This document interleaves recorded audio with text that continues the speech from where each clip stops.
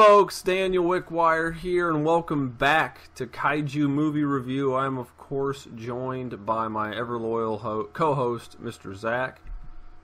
I am here, and it is good to be recording, which I guess this won't be the case when this comes out, but at the, at the time we're recording this, I believe this is the first episode we recorded in the 2017 calendar year.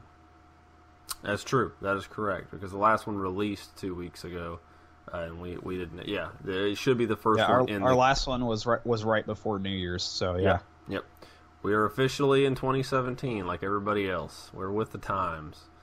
Anyhow, uh, this episode, I assure you, Mr. Zach will not assault me with a very large desk fan. No, I will not. And to start off, Mr. Zach, what is your bit of news for the day? Okay, well, I got a little bit of a two-parter here. You know, just one short thing, and then another thing I, I read a couple of days ago that I thought was just kind of interesting. First off, uh, Shout Factory has announced a DVD release for Gekuso Sentai Car Ranger, so that's exciting. The, Car the Ranger. ser- yep, uh, the the series that would go on to become Power Rangers Turbo in the United States is getting its uh, subtitle DVD release uh, in the spring, I believe. Uh, secondarily, I found very, very interesting. So it was recently revealed that for the production of Uchu Sentai Kyuranger, the 41st Super Sentai series, it turns out that for the first time since 1979's Battle Fever J, there will be an American company involved in the production of a Super Sentai series. Don't everybody go freaking out. It's just Bandai of America. Well, yeah, but it's very obvious that they're doing this because they plan on, you know, uh, they plan on releasing it in the states. But that does make me wonder, because the last couple of years they've kind of been skipping around, Mhm. as as you know, because we got Gokaiger and Goseiger is kind of a weird, kind of amalgam season because we can't do all the angel stuff because religious people are, are crazy and I don't know why they didn't do the pirate stuff. I've seen Go Go Gokaiger like seemed like a perfect series to to uh, adapt because it was just all there. They skipped Go Busters, which I'm assuming is because of the abundance of live action footage. Yeah, yeah. Because Go Busters seemed like the perfect series to ad- adapt because they took so many things from Power Rangers Yep, yep. the robots were called Zords. They actually said it's you know it's morphin time when they transformed. Like Go Busters seemed like it was made with an American audience in mind. Never happened. That's weird. I Kill don't know. Ryuger, right? Kyoryuger. We got that as Dino Charge and Dino Supercharge. Then they skipped ToQger.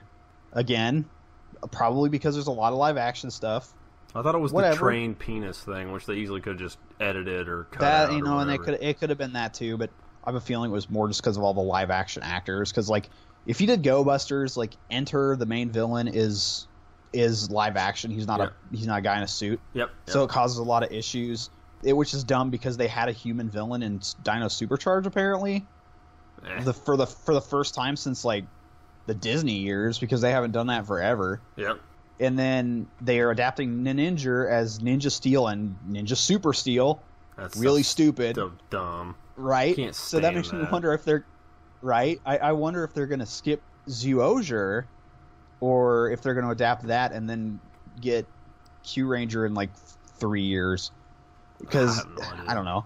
There was a rumor a couple years ago or a year or so ago that Netflix was going to pick up Power Rangers, which would have been fantastic because they would have allowed them to actually do full adaptations Yeah. and not this two 12 episode season bullcrap that Nickelodeon's making them do. Because that's why that's that's a big reason why Samurai and Megaforce and Super Megaforce were so bad because they were just rushed.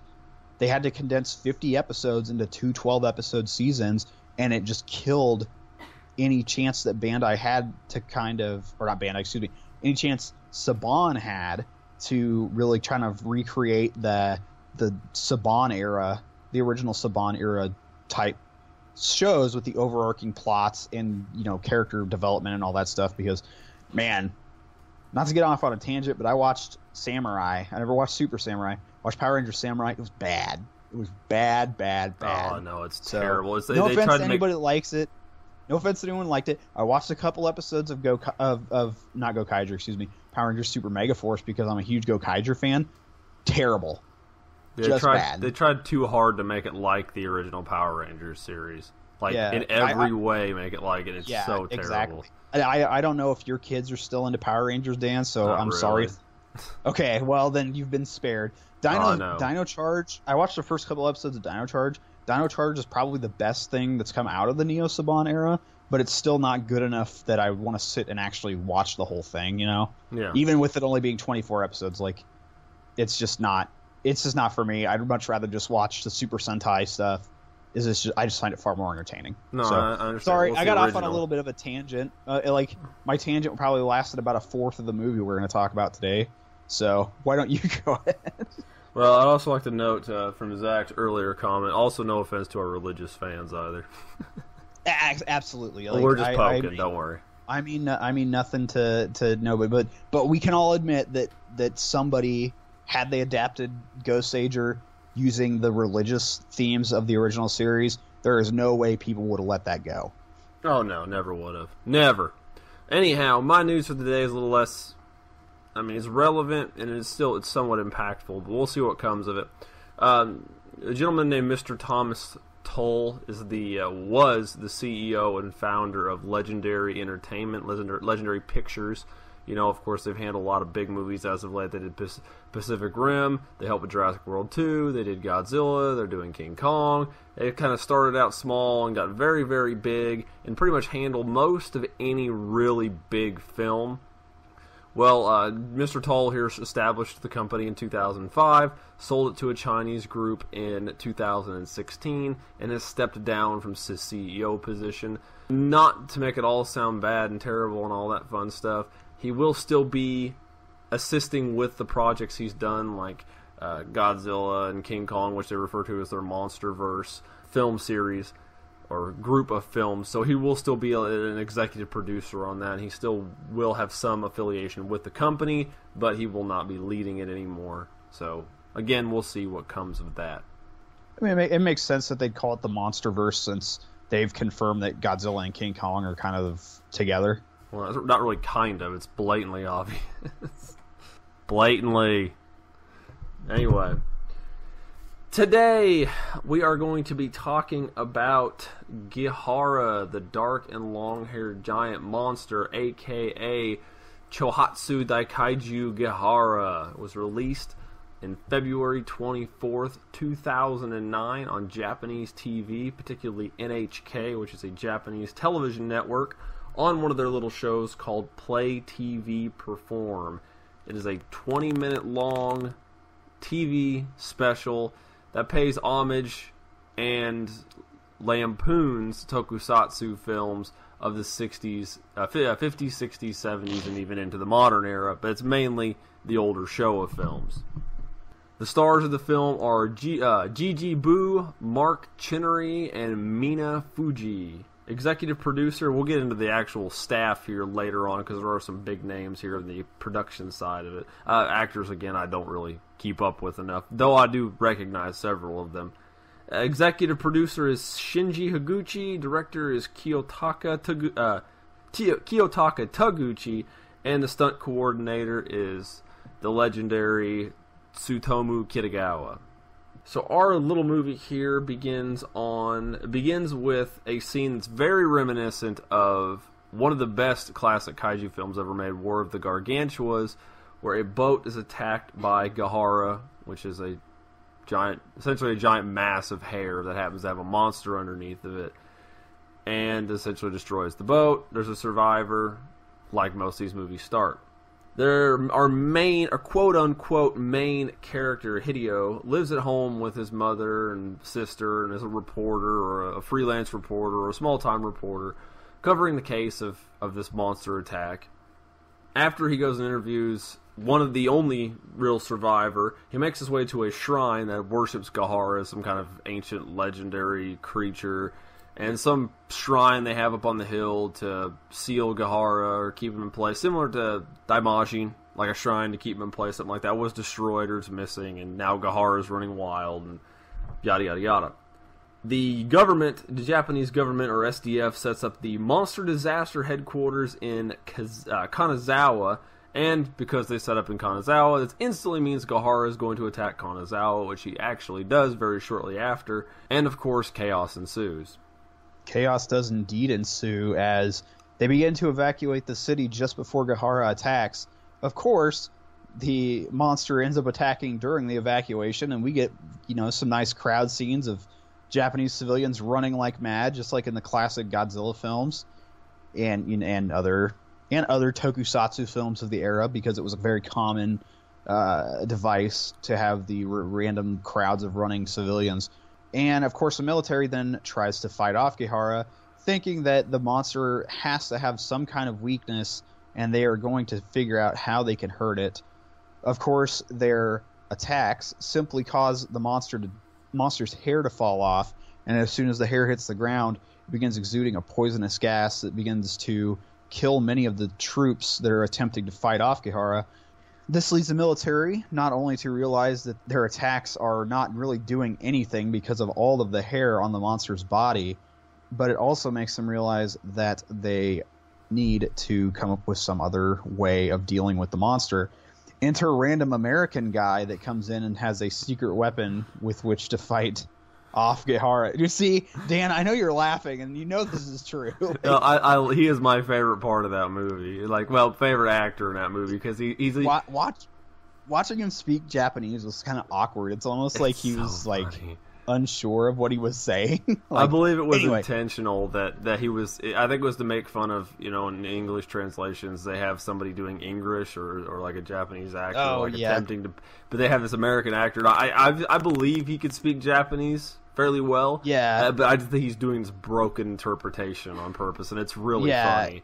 and and he was doing his. uh he was also randomly throwing English words into his sentences, which was pretty entertaining. Yes, yes. Uh, but the gosh, where was I? Giant, releasing the so, super weapon. so he, bring, American he, comes he in. brings he brings out the the super weapon, which is Fujin, which I believe Dan has the full name at at, at his gas at his, vo- uh, gas vortical device Fujin.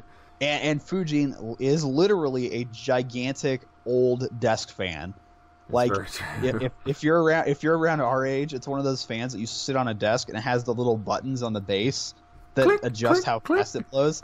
Yeah, exactly. It was one of those on a gigantic pedestal, and they blow the they blow the poison gas back at Gehara, and with this because of the wind, they're able to find a weak point on the monster's body. But bald spot. but if you want to find out what that weak spot was, since Dan decided to give it away anyway, you can you can uh, watch the film for yourself because it's only like 18 minutes long, so you really don't have an excuse. yeah, literally, literally the entire synopsis we gave is like Right. ten minutes of the entire movie, and the credits Right, are like right now. two or three No, minutes. shut up. Go watch it right now. you can, and we'll tell you where you can watch it and why we're going to tell you where you can watch it. because the only there's no domestic release, and the only the unless you want to pay fifty dollars for a 19 minute movie, Yeah, we'll we'll we'll, we'll cover that later. we'll get into that. Yeah, exactly. We, we will discuss this. First off, we want to talk a little bit about the the monster designs. Very very easy to talk about. It was it's of course supposed to be a saurian bipedal, the theropod, dinosaur, lizardish, Godzilla, kaiju, reptile looking thing. It just has a bunch of really really long hair on it, so it's kind of similar to the whole what is it? The ring, the spooky. It's not even just the ring. I know it's Yeah, existed the, long the before girl that. from the real the, the girl from the ring. I can't think of her name off the top of my head. But the concept of the little girl with long black hair, ghost, specter, scary kind of thing has existed long before the ring, but that's just a, a trope of Japanese ghost stories, if you will. And that's the, I believe, the big inspiration of that. At least that's what I've taken away in my research and what I've seen. But that's that's that's Gehara in a nutshell. It's got a lot of hair on it. I question the poisonous gas thing. I think it's just burnt hair. And I would die from burnt hair if it was that much too, getting hit by incendiary tank rounds. But, but yeah, whatever. I'm I'm good with poison gas. We can do that too. Yeah, you know, the suit, I get that it was supposed to be like a Godzilla type thing. You know, it honestly kind of reminded me of like the head bad guy from uh Attack of the Super, oh, War of the Attack of the Super yeah. Monsters. Attack of the Super Monsters. It totally reminded me of the the the main bad guy from Attack of the Super Monsters. Like Lord to the point where I was like, the point where I was like expecting him to start to start yelling, "Crush, destroy." Destroy the humans. I love, I love it. I do. I do like the suit though. I mean, this was made uh, for a television network, and you could tell. You know, it's not. It's not as good as other things, but it, it's really good for its time. And you know, this It was, was- it was obvious. 2009, so It was obviously shot on a on a tight budget. It was done in HD though, and and you know the shots and stuff look great for as little budget as I believe they had. I, I don't know exactly what the budget was. Uh, the special effects shots were actually pretty good. Like I was surprised by like how how well done like some of the special effects stuff were. The reason for the special effects being as good as they are, the executive producers, of course, Shinji Higuchi, which was a writer slash director slash special effects artist, and well, that's one of the reasons. Of course, he actually worked on the Neon Genesis Evangelion. He worked on the Gamera Heisei trilogy. He worked on GMK. He worked on Shin Godzilla. So the guy's a very, very talented individual, knows how to do his stuff. The director of Kiyotaka Taguchi was the director and the director of special effects. He actually did the special effects for a chunk of the later Godzilla films. So we had a very, very good uh, staff on hand for that. And creature design was by, again, I can't remember, I didn't write down specifically who did the creature design, but they actually worked on the later Millennium Godzilla films. And of course, our stunt coordinator was Tsutomu Kitagawa, who was Godzilla from 1999 to 2005. Hmm, that makes sense then. We had a very, very, very good production staff on this, and and even though the entire movie was tongue in cheek, which I, I do enjoy. But again, we'll get in that later. But for what they had, the little budget, and for a 20 minute movie, I would have watched it if it was like an hour and a half long movie. So I mean, they did a really good job. I mean, of course, within the restraints of their budget, but in their budget, even making it look like an older movie, like a cheaper movie, and poking fun, they still did a really good job with what yeah, they, they really did. Well, that being said, let's uh, let's jump on to because this is a fairly short one. So I mean, we only have so much to talk about here. Like I said, we've covered almost the entire plot of the movie in like ten minutes. So, what what about film availability and pricing? I think this one should be a quick one to sum up. This should be a very quick one because I checked eBay and I couldn't even find it. I checked a couple import sites I know of, and honestly, the only place I found a listing for it was PlayAsia.com, and it was out of stock. So I found it on uh, Amazon.jp, and it was 72 7280 yen, which is just about eighty dollars. Which is actually about seventy bucks. like but yeah, like like 65. It's somewhere between 65 and 70, which is pretty outrageous. But I mean, Japanese home media prices are pretty high, so it's not too surprising. Yeah, that's how they've always been. So if that's you know, don't let that shock you. That's just how their home media prices are. It's just they're expensive. That's Japan for you. Nothing wrong with that. Just how they roll. But yeah, same for me. Like I said, it's just not out there, and that's kind of we can we can segue. We'll use this section to kind of talk about. I actually got the movie long ago. I think back in 2010, maybe even 2009. Long, not long after it was released. Since it was done on television, it wasn't but maybe a month or two, or even not even that long that it actually hit DVD and Blu-ray in Japan. I actually got it from a friend of mine who had ordered it from Japan, and technically it was a bootleg thing. It was long, long ago in the early days of Kaiju movie review, which we don't do that anymore. Actually, I have it somewhere. I didn't even watch that. Me and Zach actually watched. Uh, at least I am assuming you used the, the the place I suggested for you, but we watched it on Daily Motion. It's not the best quality of release of it. Still pretty good, but it's all subtitled, so you can watch it and understand what's going on. Yeah, I, that's the that's the one I had to use because of the that's literally the only place I could find it. Like I checked, I checked around, and like the Play Motion was literally the only version I could find. and you know, that's that's just how it is. I mean, it's just not out there. And this was kind of it's it's a good show. Just look it up. I'm not going to give any exact addresses, and we're not going to put anything in the link. Of course, we know we don't. I'm going to mention this like I will probably a million times from now into the future. Zach will do the same. We don't advocate watching this, but there was no English release of the film. It got released back in 2009 in Japan, and who's to say if it'll ever get re-released or even released here in the states? It's so esoteric and obscure and obscure of a kaiju or an, an obscure kaiju film that it, it probably won't ever get a, a Western release. Or yeah, yeah I don't, e- I don't. I don't even know that the Japanese release had English subtitles either, which I I highly doubt it. It did. so- No, it did. It did. Oh, it did. Okay. Yeah, but it released in That, Japan. that's that's sup- that's surprising. And then I, I know if you can find it, the Blu-ray at the very least is region free. I don't know about the DVD. Yeah, the Blu-ray would be. I'm sure the DVD is, is, is the correct. Is it won't it won't work unless you have a Japanese DVD player or a, or a universal region-free DVD player. But uh, yeah, it is out there. It's just we couldn't find it, and you're better off just watching it online and saving yourself eighty bucks. So, all right, Zach. Closing statements. What do you have to say about this movie? What's your recommendation? Uh, you know, I enjoyed it. I think part of it was the the length. Honestly, like it, it felt like uh, it was it was just felt like a classic kind of Showa era kaiju film uh, without all of the I guess like filler. Like it was pretty much just straight up the action scenes. Like like you, you know what I'm saying. Like you Yeah. kind of you cut out the human element and it's pretty much just the monster. Like Yep. the, this was a kaiju film that focused like 99% on the monster. There Yeah, was the- very little human nonsense and it was yeah, it was it was a straight up just boom.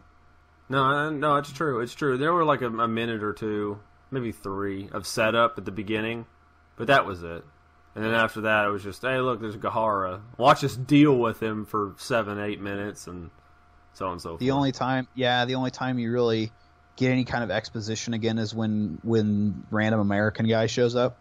Yep, yep. I love Random American Guy. He's good. He's good times. Uh, that's that's. I hope that's a thing that we can like reference back to in the future. Like, I really want random American guy to pop up in other films, and we could technically do it with Godzilla Final Wars, but not really because it's Don Frye, and you can't insult Don Frye. Don Frye is awesome. He's got a savage mustache. Well, he's So. a pro wrestler, dude. Oh yeah, I know, dude. Uh, That he did, wrestler, brother. he did wrestling and uh, you know, mixed martial arts as well. So Yep. he's awesome. So you so what? What is that? Is it a recommendation just based on it I, being I short? say I say I say watch it. It's it's a short movie. It's fun. It's enjoyable. It has good special effects. The design of Gehara is pretty interesting. Yeah, I say uh, it's it's worth watching for all those things and Random American Guy. Yep, yep. Like, of course, I share Zach's sentiment. Sentiment exactly. Not that I, I try to deviate from that when it's absolutely necessary, but I don't do it if it's not true. Uh, yes, I love the movie, and I actually I love it though. Like I, I'm I'm much stronger towards it. Uh, I watched it long ago. I loved it then.